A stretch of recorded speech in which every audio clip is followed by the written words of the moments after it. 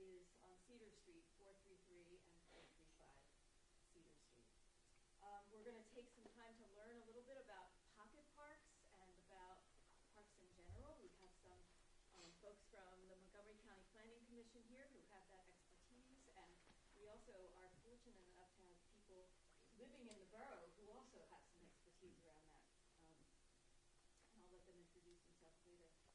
Uh, and we want to familiarize um, us all with the timeline that we're proposing for this Cedar Street project.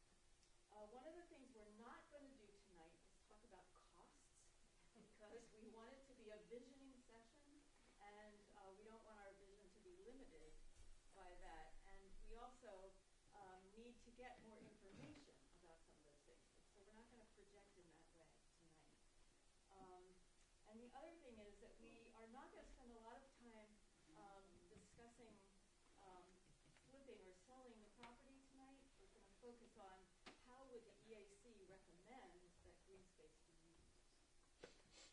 So um, let me just point out the planning group for this meeting. Um, Christian Sortesiak, who has served on council, um, and, yay, and William, here. And uh, Christian's going to serve as the point person for this project. That's why I want all your email addresses. Um, Kieran Farrell is the chair of Building, Zoning, and Revitalization. Um, Ed Foley, sitting over here, our mayor. Lucinda Bartley, who's here, member of the EAC. Adrian Red, who's a member of the A- EAC.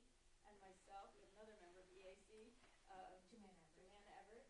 Um, and uh, Kimberly McLean, who serves on council, uh, and Nelson. So, um, now I'm going to turn it, do you want to give the history? Sure, piece? sure, sure. Did you print that out for yourself? or I was did. that- No, actually, I have, Very good. I have this, Good. which I thought was very well written, thanks to Deborah. So kind of the story of the property, or the neighboring properties, is that during the summer of 2016, Jenkintown Borough was approached by the owner of 433 and 435 Cedar Street in Jenkintown. He was in the process of selling the property and had been approached by real estate developers who planned to construct six units of dense housing. The unit, the owner did not care for that plan and approached the borough offering to sell the property for a price significantly lower than market value. During a period of due diligence, the borough contracted with qualified firms and commissioned a comprehensive property appraisal, an environmental study, and home and property inspection, because there are those two um, buildings, uh, homes, one on each property. Um, at a public meeting on September 8th, 2016, the Borough Council voted unanimously to approve the purchase of the property pursuant to the Pennsylvania Borough Code. On November 2nd, 2016, again by a unanimous vote in a public meeting, Borough Council voted to borrow $250,000 from Republic Bank for a term of 15 years to purchase the property. The debt service fund receives 0.88 mills. That millage currently pays the general obligation note.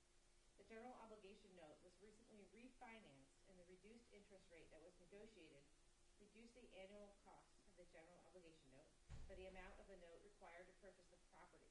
This allowed the purchase of the property with no increase to the taxpayers. This, the borough owns only one other community park space, Town Square. Through public surveys and information sessions held for the Jenkintown 2035 Comprehensive Plan, residents and business owners declared a desire for pocket parks and open space. The Jenkintown EAC has been working for the last two years to identify parcels that would accommodate small parks or seating areas throughout the borough, and they are strongly supportive of the Cedar Street purchase. Presented with an offer to purchase the property below market value, forward-thinking Borough Council considered it a wise decision for the future of the community. Although there will be a revenue loss of approximately $9,000 a year, primarily in school taxes, this, rec- this represents 0.06% of the school's budget. Adding six housing units would have increased population density on an already very dense street and may have added several more children and associated costs to the school's enrollment.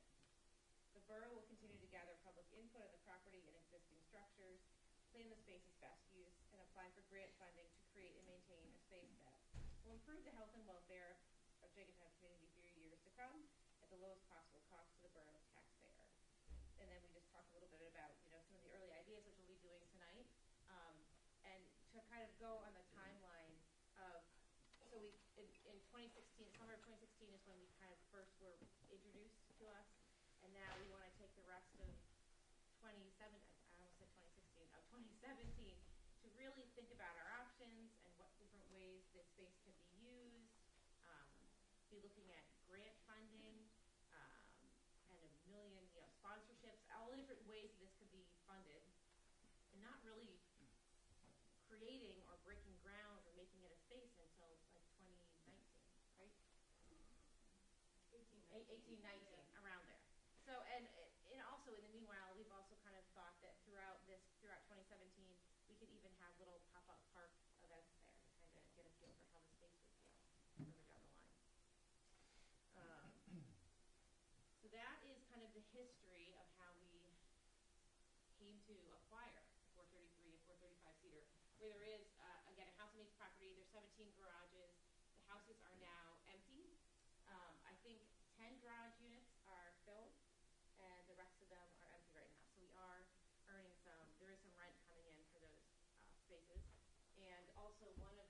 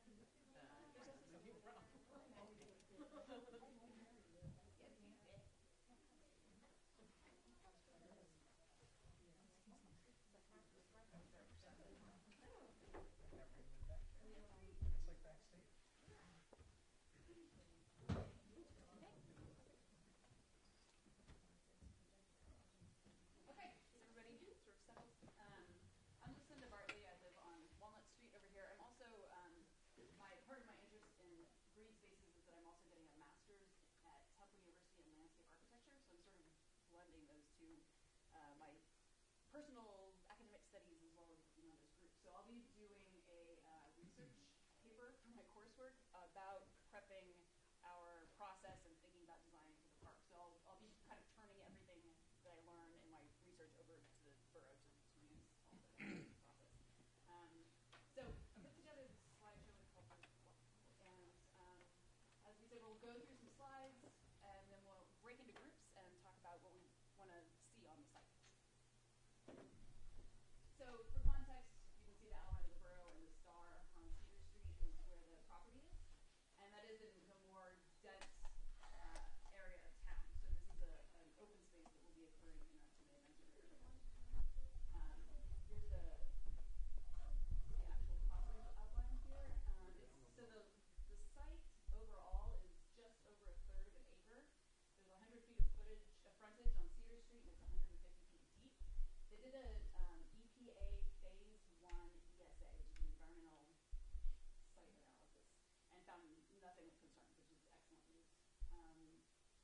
the structures uh, that were mentioned, including the garages, and then there is the paved driveway. So that's the, the site as it appears now.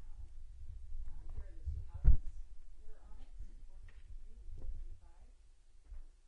And you can see behind, on the picture on the right, you can see the garages kind of coming around in an L shape around the back. So we want to talk about the future of the property. Um, it was offered to the borough by the sellers with green space in mind, and we want to keep talking about green space, especially as the environmental advisory committee.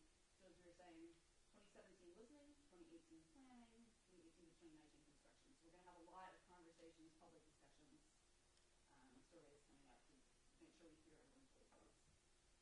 Um, this is the first of many. Our goal is to get ideas from you, public, on green space design, use, and environmental issues, and then the EAC will make a recommendation to the Borough Council. Um, this is a lot of words about what EAC is, but it's basically showing that um, based on the legislation, uh, the goal is to recommend plans and programs for the protection and improvement of the quality of the environment, and also to advise on acquisition of property. So that's where our work comes in. Okay, so uh, I think there's two elements to think about right now. The first is land use. Um, we have existing public space in the borough. As they were saying, the first one, the, the one that's actually owned by the borough is Town Square, which is primarily the, the land use of that is really community gatherings. Paved, but it's, you know, it has kind of beautiful ring of plantings around it, but it's, it's meant to gather people together and it's well used for that. Um, the Jenkintown School Playground is for elementary age kids playground, and then there are the sports fields for active recreation. Nearby, but not in Jenkintown proper, is Ralph Morgan Park, which is that little strip along the creek down by the train station. Has a great path. It's been uh, there's been an ecological restoration done on it, and if you walk sort of the end of the path, there's a playground down there to play. So that's easy walking distance, but not actually Jenkintown. When you Um, say the uh, elementary school children's playground, Mhm. that has only limited time in which people are allowed on the Right, property. I just right. wanted to- Yeah, that's a good point, and it's not for. Um, but it's more accessible than a lot of others. Okay, so those are our, Kim, keep those in mind, like, that's what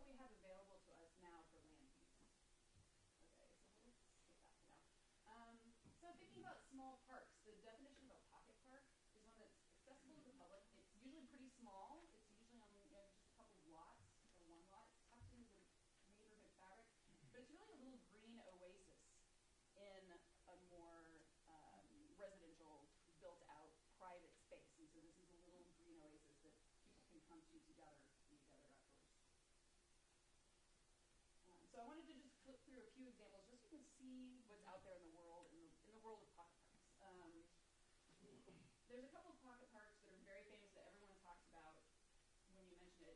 One is in Center City, Philadelphia. It's John Collins Park. It used to be called Chestnut Park. And it's less than a 10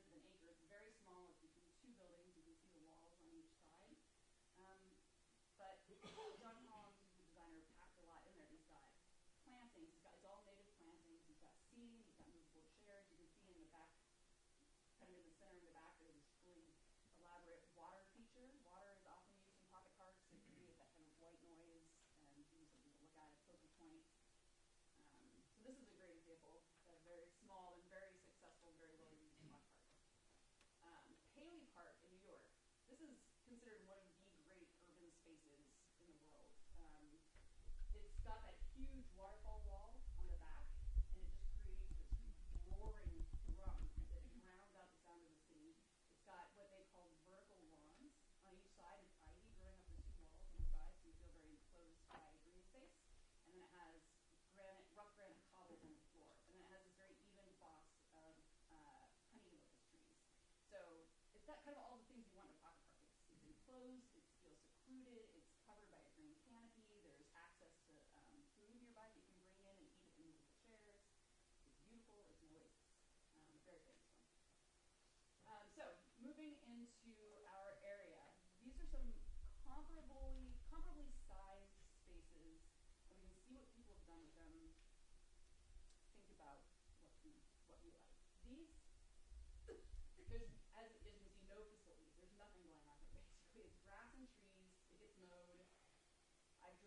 companies. I never see anybody out there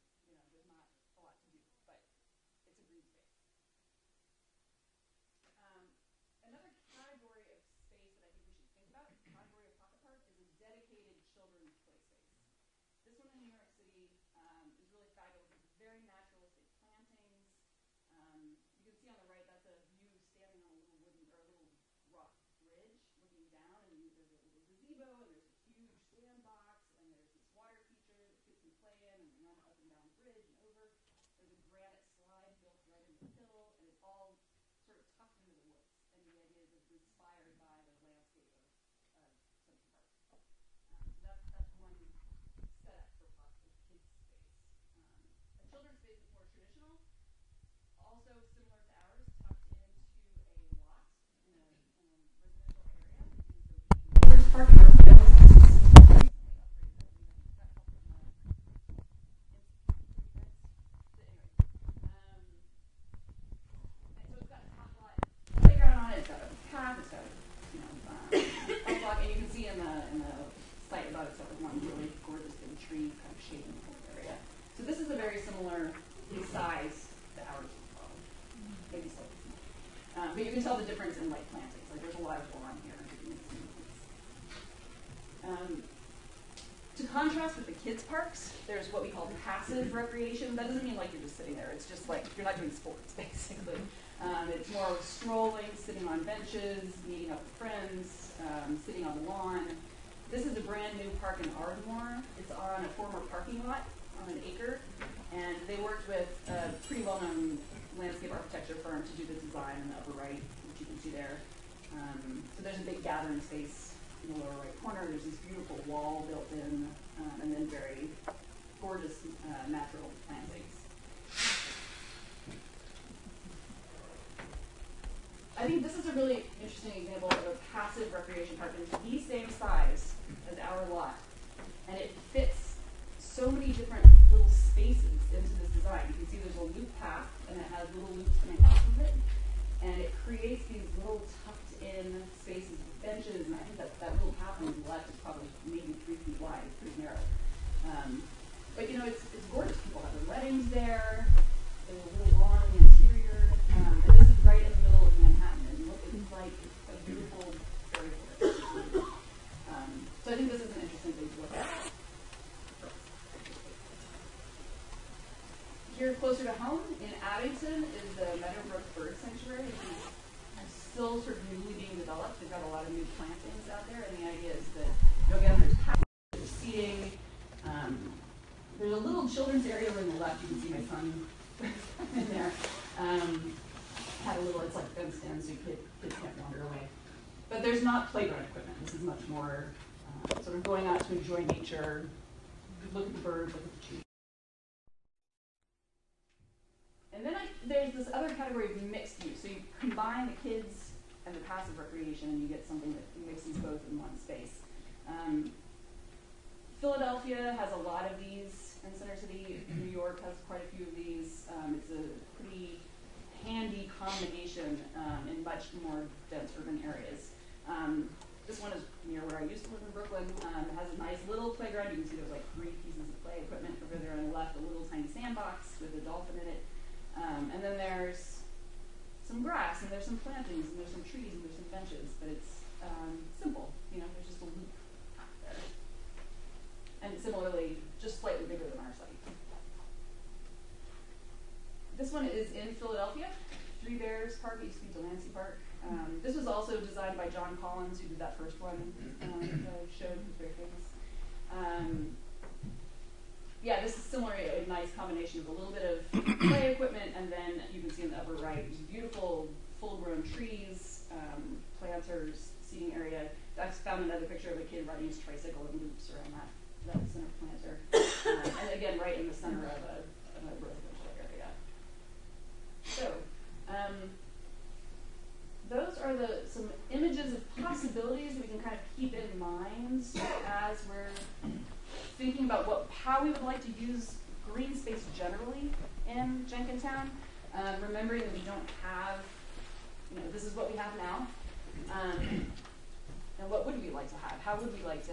What would we like to make available to each other as residents, as visitors, maybe people who work here during the day and, and would like to go sit in a park for lunch, or go have coffee, or have an outside meeting, or you know, um, people who are shopping and might hear that there's green space to go to, for example. So, what can we provide? What What do you imagine that we can provide to all of these people, young, old, all ages? You doing the better one? Yeah, thanks.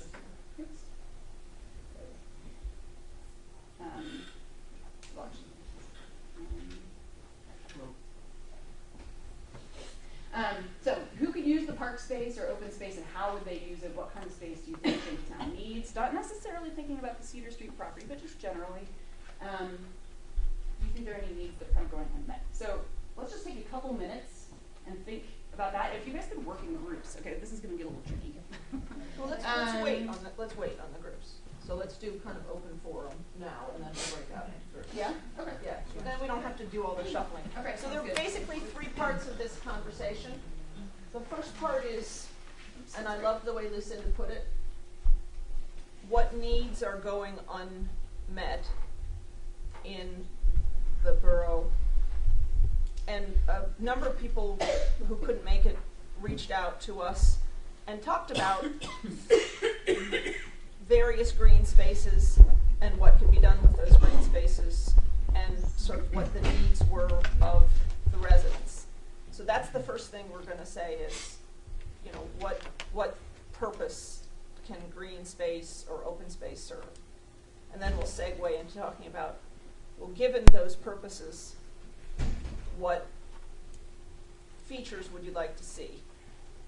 And then we'll break into work groups and we have the most Yeah, we have lovely some maps and things to maps, with. but, but we'll, we have, so we have five tables to work at, so we'll, we'll probably group it into five, five groups of six, but we're not gonna do that yet. So the, so we throw it open to say, what do you see as the purpose of open space here in the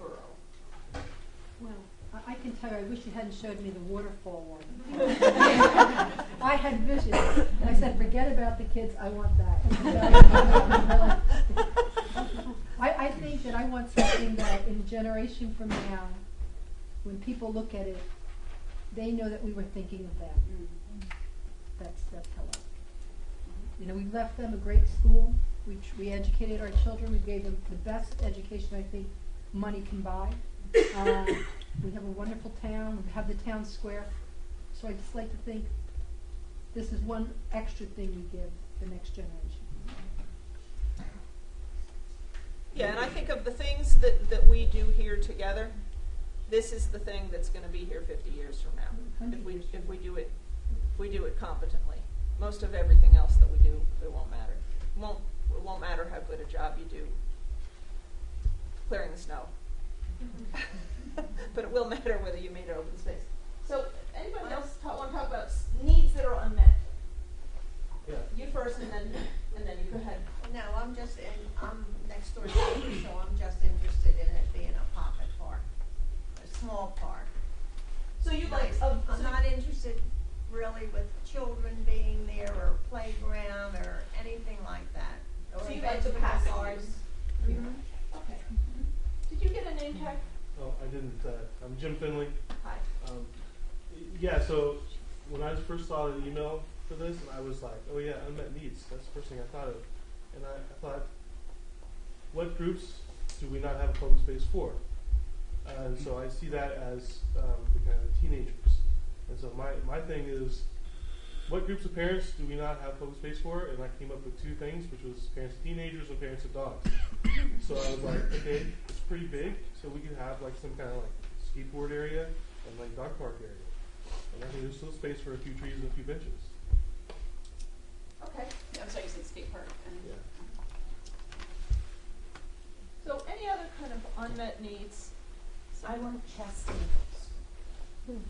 That was Yeah. on the list. Oh, Chess. yeah. That's, that's the next We'll add it. one. So, Oh, You want a place to play Oh, chess, is need, what you want. need Okay. for the teenagers. Your unmet No, need is chess that you don't- table. but before we start to talk about features at the park, so there's a slide here that's like a list because we've been brainstorming on this for a while. We'll add the chess tables. Um, you and then I, I see you back there. Go ahead. So I guess I would think about something like I, I really like the idea of having something that's like nature oriented. So I really like in Meadowbrook where they have the bird sanctuary. So I would think something more quiet as opposed to having like kids kind of running around. Because I don't know. I mean, I see like the playgrounds and other places and kids going up and down the street and stuff. Um, so I don't know. I see it as more of a quieter space, and having I liked the ones where they had you know a lot of tree cover and you know the water feature and something like that, and just because it is a busy area and you know, just being able to walk somewhere where you can sit down and, I don't know, just like be alone with your thoughts or see a bird or something. I don't know. Just sounds appealing. And by the way, the way that we're capturing everybody's ideas tonight is you can see that Lucinda is busily writing notes as people are making their comments, and then you're going to actually get an opportunity to play with um, the icons and these little maps. All right, go ahead. I agree with her 110%. Uh, as someone that lives in the set of rows in the back there, uh, there are so many beautiful birds in the summer.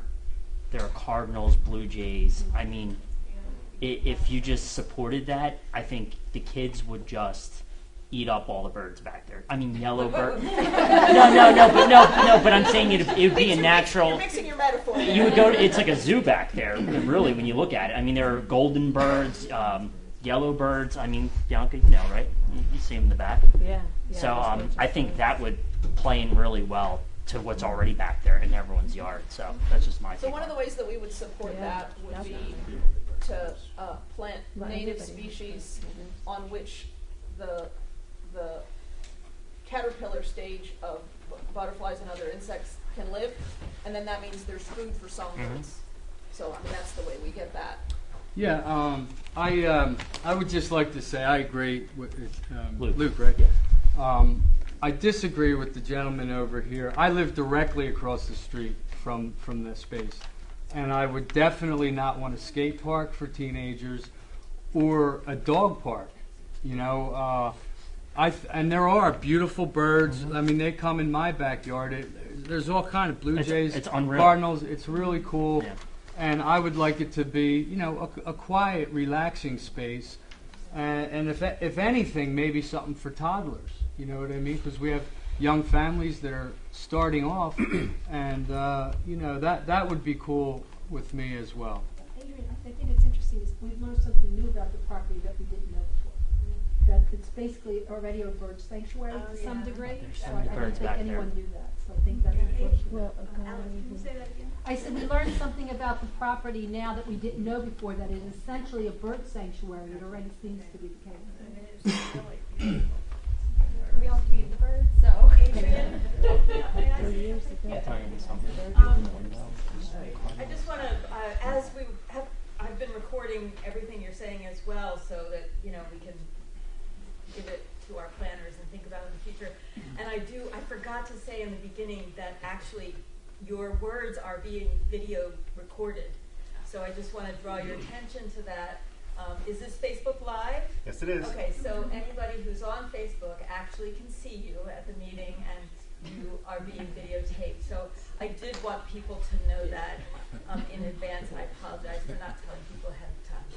And this is Mr. Garbin, who has taken it upon himself to do that um, No problem. for himself without um, Burroughs. You know, we're, we're not While asking you, while you guys figure it out, it. in the meantime, I'll. All right, so we're still on the kind of unmet needs phase, and then we'll then we'll talk. We'll kind of brainstorm, and then we'll go into work groups. Hi, Adrian. Hi. So, uh, you know, listening to what you're saying as the parent of both a teenager, multiple teenagers, and one dog, I think, and, and listening and appreciating, because you, I hear you saying about the skate park, and there's a really awesome skate park in two of our neighboring, two cool state skate parks that are not walkable, um, but nearby.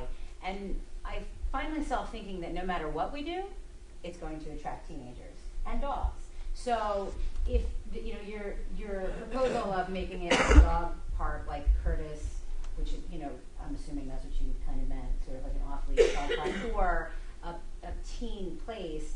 I think that in this particular borough, any open space is going to attract either.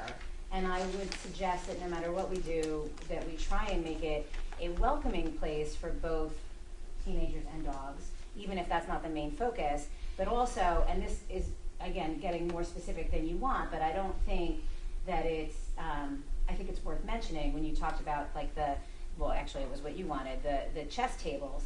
If you were to make a quiet space, if you were to include something that encourages kids to go and play chess as opposed to finding a quiet corner to have sex under a tree or mm-hmm. drink a bottle of whiskey, I think that that would show wisdom on our part. And I think that no matter what we do, I, I particularly think that we need to keep those two populations in mind because they're going to use the space no matter who we design it for.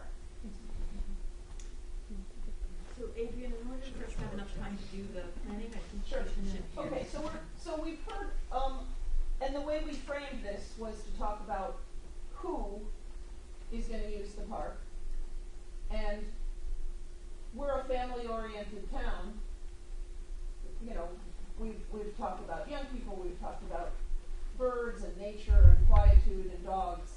And so as we, as we over to the think of that, yeah, well, I mean, let's, you know, we'll scroll through these again, and with what we, with what we talked about, these are the children-oriented ones. These are the passive. We may find ourselves someplace like mixed use, and one of the ways that we framed that was to think in terms of the kinds of elements. Now, this is by no stretch of the imagination, doesn't have the chess tables on it. Um, this is by no stretch of the imagination a complete list, and we're, you know, we're perfectly capable of augmenting this list, but you're gonna get to do that hands-on in a few minutes. So, now we're talking about, if you were a designer, and you could design one of these parks, and you had 0.36 acres, what would you wanna make sure was in that park? And then we'll segue from there into working in groups. I'll break us out into groups and we'll, we'll sit, we'll actually get to play. So what do you wanna make sure? Because it may be a while, it may not be ever before we can do something with a third of an acre. What do you wanna make sure is in that park? I'd like to have a water feature. No, seriously, I think it is very peaceful. The neighbors don't mind, and that's something else. I don't wanna put something in which really offends, that, that makes life for the neighbors difficult. I think. Here, and then, there. go ahead, Well, just, just to kind of piggyback on a number of things that were said, if you want something that in thirty years is still as effective as it is now, and that is good for a number of different people, and is good in a very dense area, what you really want is flexible space. You want something that can be quiet when you want it to be quiet, that can be loud when you want it to be loud, that, that kids can be in, that you can change it around, and adults can be in. And, and I think those really successful first pocket parks, that's what they are. You could take all the chairs out and do something else, right? Put the chairs in, it's a seating space. Mm-hmm. If you specialize it and you have all these little pockets of things, Yeah. hey, skateboarding in 10 years isn't cool anymore. Mm-hmm. Suddenly now you have a thing you have to tear out and turn into something else. Mm-hmm. Whereas a flat space that's beautiful, that can be a lot of different things, is really useful for a long time. Mm-hmm. That's a good point. Adrian, to your point about what, It's all right, I know you're back there, go ahead. sorry, um, what some of the things, I think because birds are so attracted there, more trees and the wildflowers and, you know, things like that, that, that would be relatively easy to put in now to encourage that would be great. Uh, two things. Uh, where the skate parks are around here, are they in dense areas or are they in open areas? Because I'm not really aware of. One of them is Wall Park, and where's the other one? The other Um, one is in in a park in Roslyn. Roslyn, and they actually run like skateboarding camps and the like there. It's at, it's, I think it's actually even a nicer setup than the one in Wall Park, but they, but they're literally on either side of us. And so they're, they're rather extensive skate parks if you've got skateboarders. Um, and they've got a lot of draw, so I don't think, even if that was our focus, and it certainly doesn't sound like that's what anybody would want, it, you couldn't in that small space compare with what they have in both those other spaces. That's what I was gonna say, skate park, it doesn't look big enough to make the things they do on skateboards, And you know, that wouldn't be enough space to do it. So I'm gonna, I'm gonna stop and say a thing about brainstorming. Brainstorm, nothing that anybody says here is wrong. Okay. No, no, because all we're doing is being creative, mm-hmm. and envisioning. Yeah. And, and as I've been thinking about this, as I've been, you know, walking around, driving around, I, I've been thinking, well, I want everything in the park too. Mm-hmm. I'm I want there to be pin oaks that we plant that get to be mature trees, and I want them to, I want it to be, you know, I want it to be ringed with green space in this way. And I want it to serve preteens and teenagers. I want all those things too. So, in addition to having these maps that actually have the physical space, we also have just plain old paper and you can sit and draw. I mean, I want us to function in groups, but I want to say, is there anything on this list? I mean, this doesn't specifically, it says wildflower meadow, but it doesn't specifically say native plants. But native plants is how you get birds. C- Can I just have one other thing? I think when everyone else is brainstorming, just please put themselves in the mindset of the person who has to live next to their idea. Yes. So, so my thing is, is that uh, I I don't know your name, but you're you're correct. People will bring their dogs there. Uh, kids will congregate there, but making an, uh, a honey pot for that activity, I don't think that that is thinking about the people that have to live around there. So, would you like to live next to a dog park? There's a difference between taking your dog there and saying, I want 20 dogs there. Because one dog won't bark, but if you have three or four, then it, then it becomes a noise thing. So, I just would ask, you know, that people keep that in mind. So one of the things that I heard there is if you know that, sign in and get- put name tags. Um, if you know that it's going to attract kids and kids' little strident voices, and you know that it's going to, you know, people are going to walk through with their dogs, even if they're just walking through them on the leash and there aren't 20 at a time. Mhm. What I heard there was that we want to make absolutely sure that we do woodland edge as a sound buffer.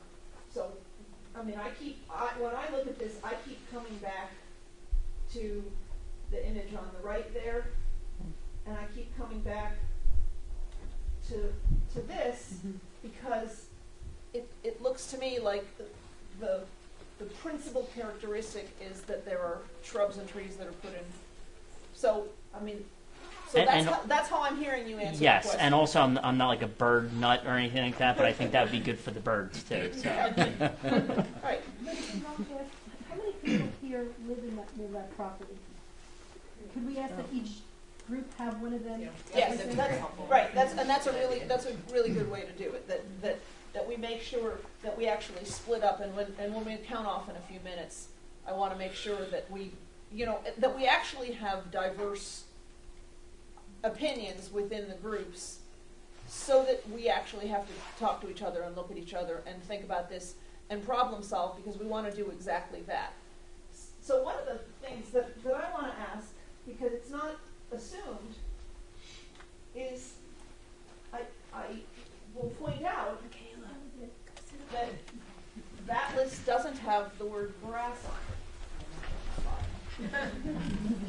So, so the thing is that, that when we look at these, we see in some cases kind of a central, in some cases there's a paved space. So here there's grass. I mean, the, the problem with this is I don't think anybody's going in there. They're not supposed to, but they do. Yeah. So that doesn't make a lot of sense to me. And I'm not a park planner, I'm not a landscape designer. It's very silly. I'm just a person who likes to go to parks. Mm-hmm. Mm-hmm. And so what exactly we want to do is accommodate the concerns of people who are worried there may be noise. How do you put something in that space that constructively serves the needs of the people that are going to use the space without disrupting the lives of the people who live adjacent to the space? So you got to give them something to do. I mean, I think Lucinda, she's being very polite about it, but the passive spaces in Abington, I agree. there's nothing to do there. And grass is not an environmental boom. It's just a thing that has to be mowed. It's dumb. I was just going to add, um, well, one thing to think about when you have the open, flexible space, whether it's grass or, or pavers, um, a, a lot of communities have a group that's in charge of programming the space with like yoga class or hula hooping contest or bird watching or painting or anything like that. So that could be another option if um, a group in the borough would want to take over programming the space that could be used for the more open area. And that's why the town square gets used so effectively. Yes, I agree. It's relatively limited infrastructure, but it gets programmed very effectively. So that's a thing to think about when we think about. All right. Any, sorry. I think my only concern is being, I don't know, it's, it's a small area. At nighttime, is it gonna be lit up? I'm considering about safety issues.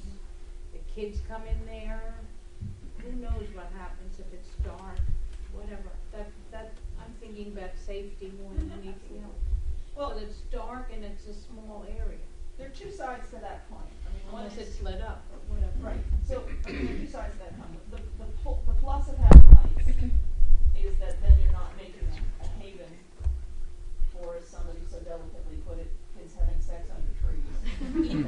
Um, a, a disadvantage to the lights is that the lights have a cost and have to be maintained. And that it also is a disruption to the animals.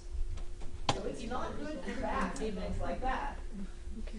I, I don't And they- disagree. Right, It's just that it's a dark yeah, right, and so, so, so the point is that it's, you just have very, so, you know, lights as a question mark needs to get, you know, is, are lights a good idea? Or, or if you, or how are you gonna manage the use of the park if there aren't lights? How are you gonna make sure that you're not creating? Oh, yeah, Well, it is, you know, often parks will say like, so, like, Um, parks will often close at dusk, and that's a possibility. We have a gate in the front of it at night. Yeah, well, I don't know and I think, I, don't- I think, um, you guys can talk to the chief about Yeah, so additional. when we had, um, issues at the Jenkintown playground, um, with kids vandalizing it and doing other things at night in it, um, we asked the chief to have a steady patrol go through there, and that was quite effective, Hmm. actually. with their And we also have things. cameras now at the There are playground. cameras at the playground, so those are all things that we've thought about and started very initially talking about. So this is exactly the kind of problem solving that we're trying, trying to do. If you go up near the playground now, if you happen to be, if you have occasion to walk through, there's a, there's a cruiser car sitting there. And um, safety is in, in protection of the park at night, off hours. It's not just a law enforcement issue, but it can be a design issue as well, because if you make the whole park visible from the street, then you don't have the sex trees and you don't have the drinking area. But on the other hand, then you don't have the ring of shrubs which provide the sound buffer. Well, I mean, it's a sign. Oh, true enough, okay. So, um, last licks on kind of elements to include, um, before we segue into groups, Steve? I have a bit more of a question. Is there a cost limitation to this? We're not talking We're not about. talking about, we're, we're, we're brainstorming and we're visioning and, and nothing anybody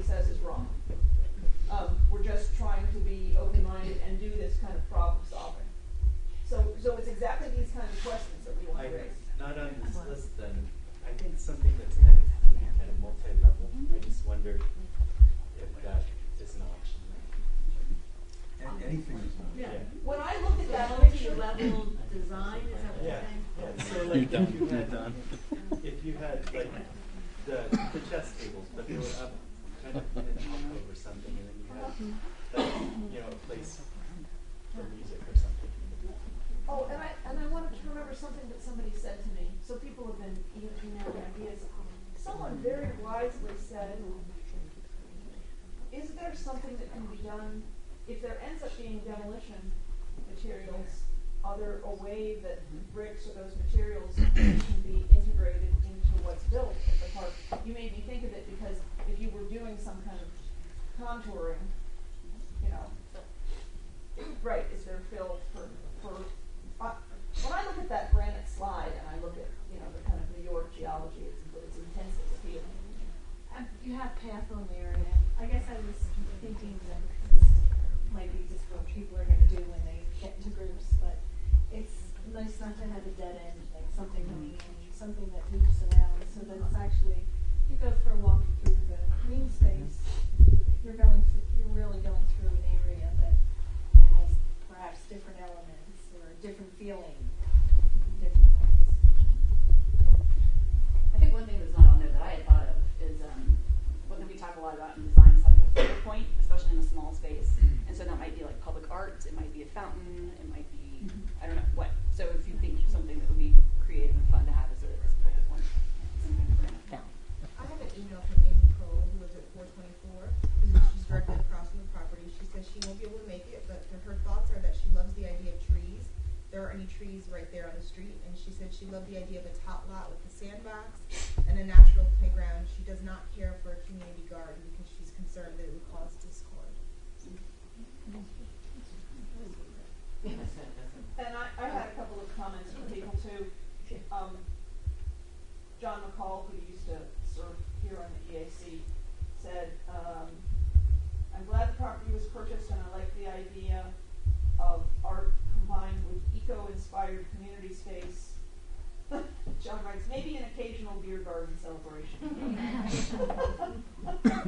Another person wrote to me, my kids and I would love to see a butterfly ga- a garden. We would be willing to volunteer time to help make that a reality. um, and so a number of other people have emailed, and I won't read them all to you, but you know, with various ideas. Um, I just wanted to add that one other idea that was kind of considered was maybe keeping one of the garages or two of the garages as a space that the rec board could store things, who are storing things now in the, um, second floor of Independent. It, or the, um, dance theater, some of the arts groups could use that, or there's also been the idea of a tool lending library in maybe one of the garages. So if, when you're planning your space, if you wanna consider keeping it in a garage, that would be good too.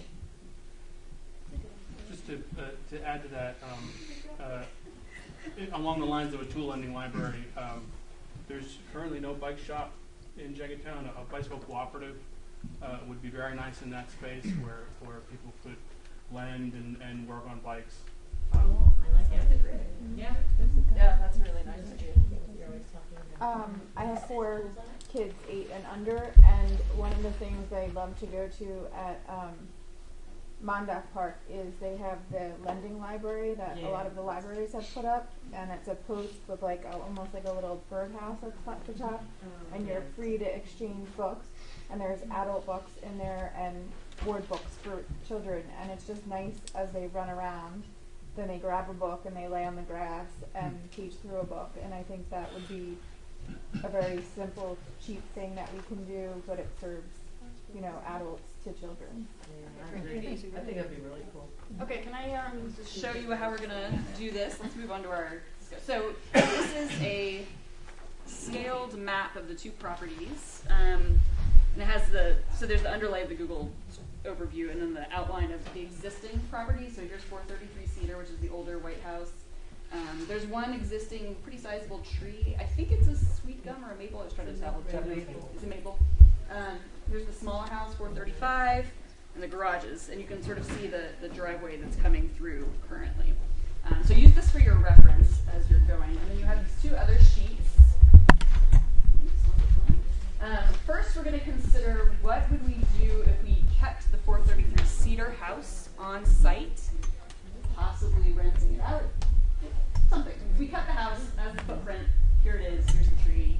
Um, but use kind of work around it. How would you how would you design the space? And then we'll do totally blank slate, nothing there. Imaginations go wild. Think about what you want. So we'll we'll do it in phases. Let's do um, we'll handle the you, everybody will break up into groups. I think Adrian's going to lead the break up into groups. Um, we'll hand a set of these to everybody, and we also have so these are scaled. Every one of these little squares is a half an inch, and that stands for five by five feet. So um, we have little little icon thingies that you can move around. Here's little tree canopies that you can put down, and they're all scaled appropriately. Um, this is an example. Here's a free swing swing set, and then the safety buffer space that would need to go around it. Um, there's picnic tables, there's benches, there's shrubs. Um, but I'm also going to hand out a sheet that has ideas for other things and their sizes. If you just want to like draw in your own or cut out your own thing, and you can just make it match, you know, to the scale, so you have a sense of space. Um, so you can play, and then we'll come around and we'll kind of either quickly talk about or maybe just take pictures of what you come up with. Um, so I would I would emphasize think about your priorities for the use of the space first. You know, do you want it to be a passive space? Do you want it to be a play space? Do you want it to be very wooded and you know secluded? And and then build from that as you start putting stuff in. So priorities first, and then design elements. Okay, um, Adrian, do you want to?